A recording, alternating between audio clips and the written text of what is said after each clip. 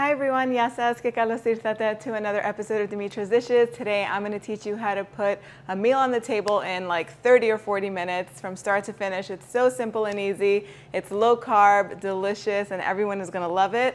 I'm going to show you how to make my version of low carb tuna fish patties. Some people call them tuna cakes. You can use tuna fish, salmon, or your favorite fish for this. Let's get started. All right, so I have three cans. They're seven ounce cans of tuna that's packed in water. You can use tuna that's packed in oil for this recipe too. You're just gonna have to drain it and then put it in a big bowl and just break it all up, flake it up. Again, you can use canned salmon for this too, that does work. I find that sometimes I have cans of tuna laying around and a tuna fish salad can sometimes get boring. So this elevates it and just makes it so delicious. These are little patties. You're gonna be able to eat as sandwiches or put them over a salad or with over cauliflower rice if you're doing low carb. Break them all up and set it aside. And this is where all of the flavor is gonna come from. So I, am using about eight scallions for this recipe. I've already washed them really well and these are unruly. So I'm just gonna cut half at a time. You just want to slice them all the way down to the white part. You don't have to use scallions. You can do one large onion and just finely chop it.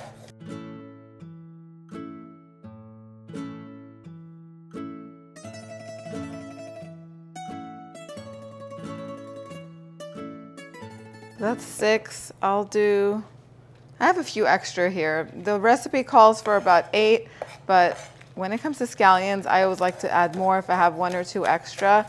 There's no point in popping it back in the fridge. Okay, so I have a cast iron skillet. This is the skillet that I'm gonna use to fry these afterwards. So I'm just gonna pan fry my scallions in here. You wanna cook them to get them really nice and mild in flavor. So you're gonna need about two to three tablespoons of olive oil. Try to get the scallions in the pan and not outside of it.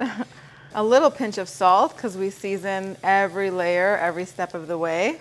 And I'm just gonna cook these until they're nice and soft, about three or four minutes over medium heat. Okay, so once the scallions have softened and cooked down a bit, you're gonna grate one or two garlic cloves. Two are always better than one.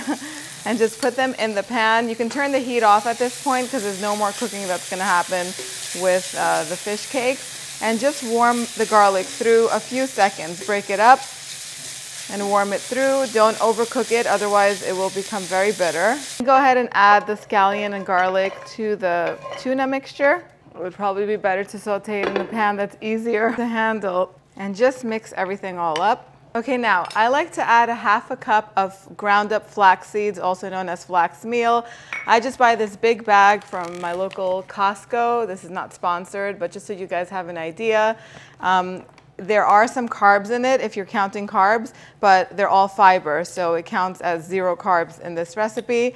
Um, it's also a great alternative for breadcrumbs, but if you don't care about counting carbs, you can definitely add breadcrumbs instead, either Italian breadcrumbs or panko breadcrumbs, which are my favorite. Then I'm gonna add about a teaspoon of celery seed, a heaping teaspoon of dill, which is probably all I have left in here.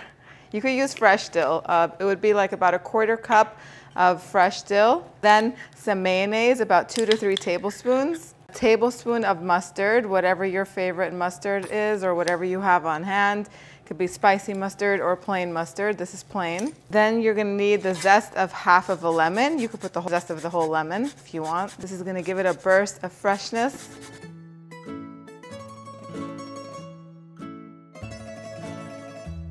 And about two tablespoons of lemon juice, about half of a lemon, black pepper, a little pinch of salt, like half a teaspoon or so. You did put that flaxseed in there, and there's no seasoning in that, and two eggs.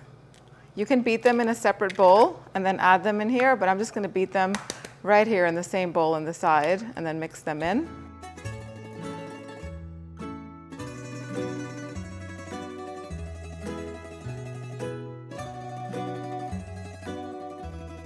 And that's it. A good idea is before adding the egg in here, you can give it a taste to check the seasoning. I already added the egg.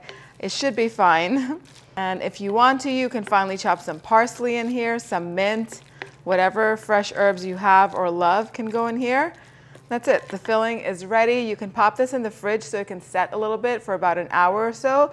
But if you're in a time crunch, you can form them into patties straight away. And I'm going to do that right now just so that way you could see that they are able to be made right away, right when you need them. I like to measure using a third of a cup measuring cup. And I'm going to take a little bit at a time.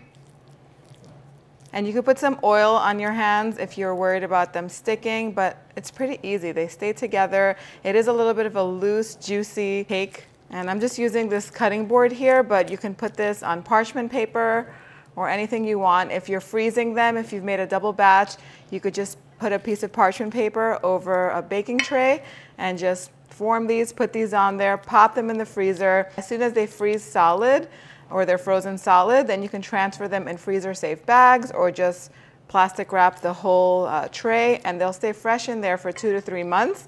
Then you could just thaw them out overnight in the refrigerator is best or if you're doing it last minute, however you do it on the counter for about an hour and then just pan fry them. I haven't tried uh, doing these in the air fryer, but I'm sure they turn out perfectly in there too. I think um, they're better in the pan though. They get sort of caramelized. So as you can see, it makes 10 really nice sized patties. So I have a cast iron skillet that's heating over a medium high heat. I'm gonna add a little layer of olive oil at the bottom and then carefully put the fish cakes in about four or five in at a time. I wouldn't put more so that way they cook evenly. And cook them about three minutes on each side. Then transfer them to a plate that's lined with paper towels so that way you can absorb any excess oil and they'll be ready to serve.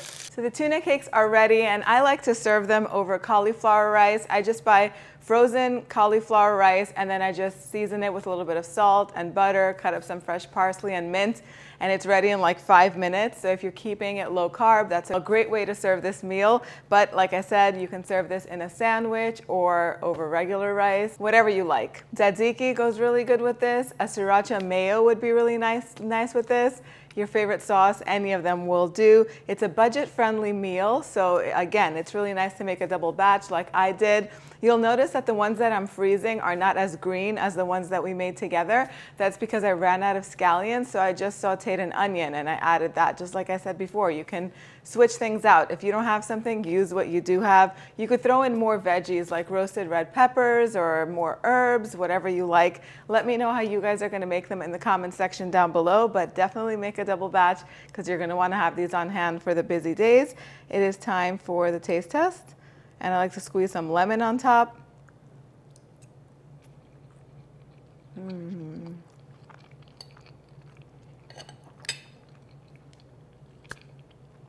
Delicious. It's sort of creamy on the inside, nice and crisp and caramelized on the outside. Give it a try and see how they turn out in the air fryer or if you can bake them if you want. And let me know in the comment section down below. The recipe can be printed on dimitrasdishes.com. Thank you guys so much for spending time with me today. I'll see you all next time. Yes,